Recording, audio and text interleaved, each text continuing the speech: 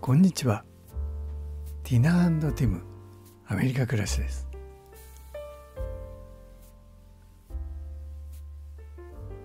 本日はトレーラーのナンバー登録という話です、えー、今回はトレーラーのナンバー登録についてお伝えをいたします。このチャンネルはロサンゼルス在住リタイア夫婦の日常をお伝えしています。ぜひともグッドボタンチャンネル登録をお願いいたします。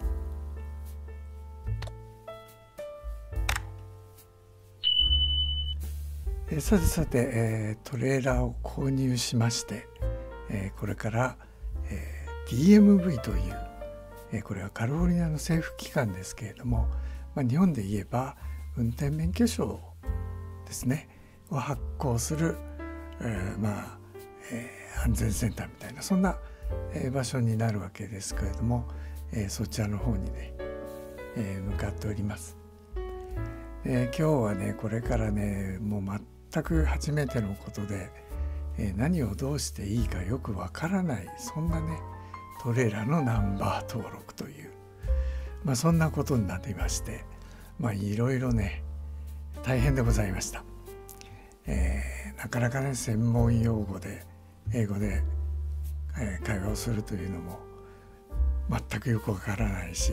一体何をしていいのかわからないというそんなねとんでもない、えー、申請というふうになってしまいましたね。えー、場所の方はですね、え、いつも行っているホームセンターローズからねわずかストリート1個北側に行ったところになりますけどねそこに、えー、トーランスの DMV、え、こちらがあります。でここは前にもご紹介した通り私が21年前に来た時に、えー、運転免許証のですね取得をするために来た場所でありまして、まあ、どちらかというと思い出の場所という、えー、そういったところでございます。えー、まあアポイントメントを取ってこなくちゃいけないんですが、5, 時5時に終わるわけですよね。で4時半頃に来ると結構人が空いていて、まあ、30分ぐらい待てばですね、えー、予約なしでも行けるというそんなところであります。まずね、えー、トレーラーのナンバー登録に必要だったちょっと項目なんですが、えー、買った時にディーラーからね書類を渡されます。これはねタイトルと、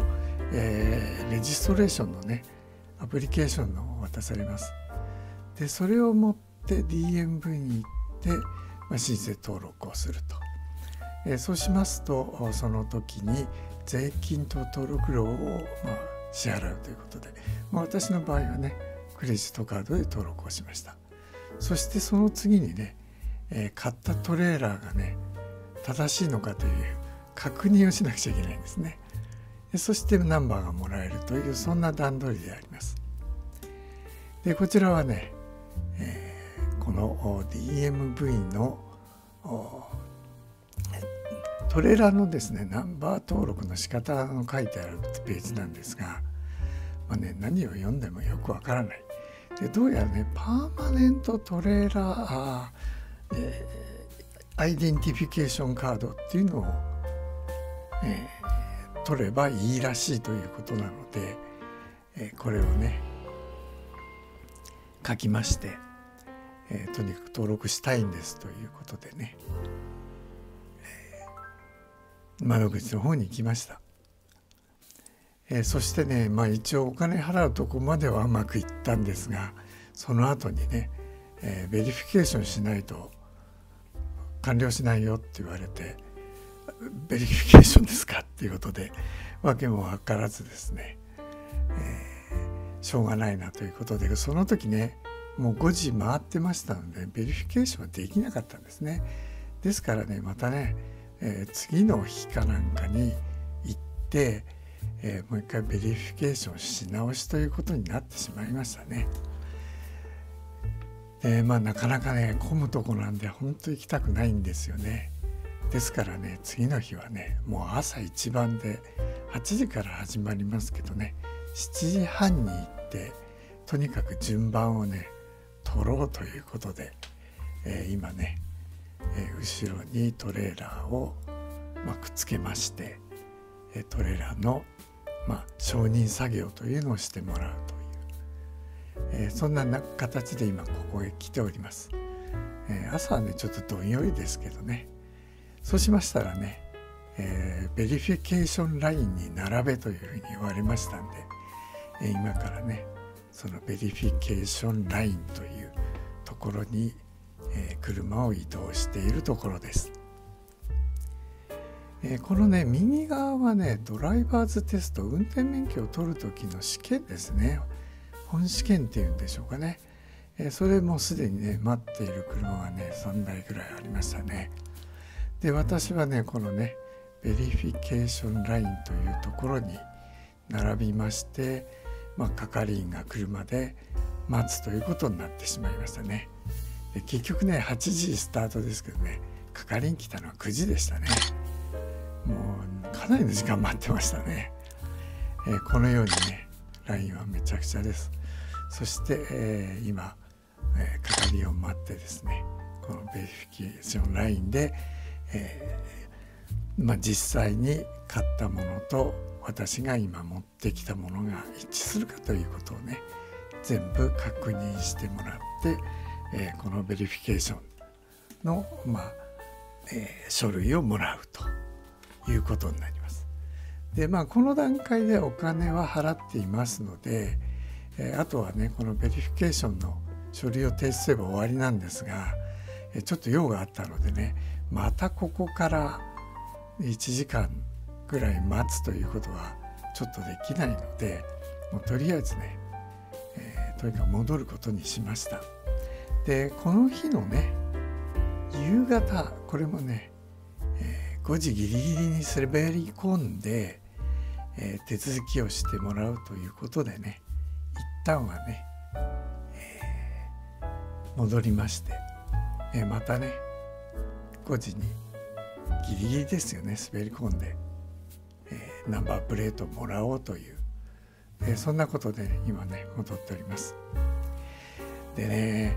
えー、前回ご紹介したえトレーラーを販売する専門店だったらねこういうこと全部、まあ、お金はかかりますけれどもやってくれるんですよね。ですがね今回はホームセンターのローズというところから購入しましたのでそのサービスは自分でやるということだったんですね。えー、まあね金額的に見ればね100ドルもしない話なんで今回ねこれやってみてねお願いした方が早かったななんていうふうな感じをしますけれども残念ながらね、えー、今回買った Lowe's ではそのサービスは自分でやってください簡単ですからねって言われたんですがいやそんなことないめちゃくちゃ大変じゃないですかということでね、えー、なんとかまあこのえー、 Permanent Trailer Identification ということでナンバーを取ることができました。でこれはね5年間で、ええー、1回登録すればよくて登録というか更新をすればいいみたいですね。えー、それもね料金もね5年で20ドルという非常に破格なんで、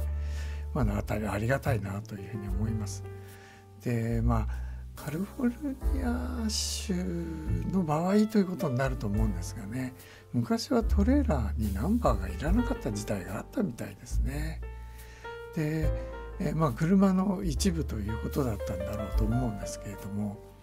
まあ、今はもう必ず登録した方がいいよということで、まあ、しなくてもいいらしいんですけどね、えー、ただいろいろ読んでみると他の州に行った時にえそれが許されないという州もあるということをま聞いたんでじゃあこれはもう絶対登録しなくちゃいけないだろうということで、まあ、今回は登録したという。まあそんなことで、え結局のところですね、えー、登録までに2日かかっちゃいましたね。いやこれはね参ったなということでね。まあいつもている通りやはり政府機関でいろいろね手続きするっていうのは本当にね難儀ですよね。もうとてもねこんなんやりたくないというふうに思いますね。まあねでもね、えー、今回トレーラー買いましたので、ね、とにかく